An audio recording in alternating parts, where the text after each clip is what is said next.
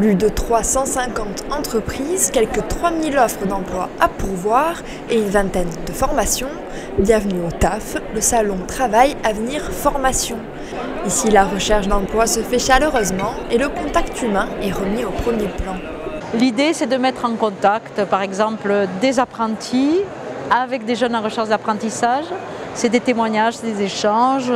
On a travaillé le même concept avec les créateurs d'entreprises. Voilà, euh, l'idée c'est vraiment euh, d'amener euh, un peu de vécu, un peu de témoignages, des simulations, des tests, voilà, être un peu novateur par rapport à des, salons traditionnels où on vient juste chercher des documents et des dépliants. Et certains sortent le grand jeu. Outils de simulation à l'appui, ces formateurs attirent l'attention sur le métier de routier. On a cet outil qui est quand même assez attractif et qui, bah voilà, par son originalité, fait venir des gens un peu par curiosité. Puis après, une fois qu'ils testent, bah, par curiosité encore, ils vont venir nous demander finalement euh, c'est quoi le métier?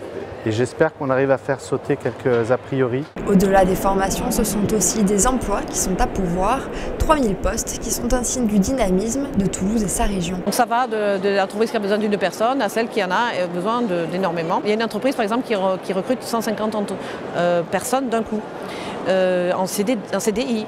L'an dernier, 80% des postes avaient été pourvus.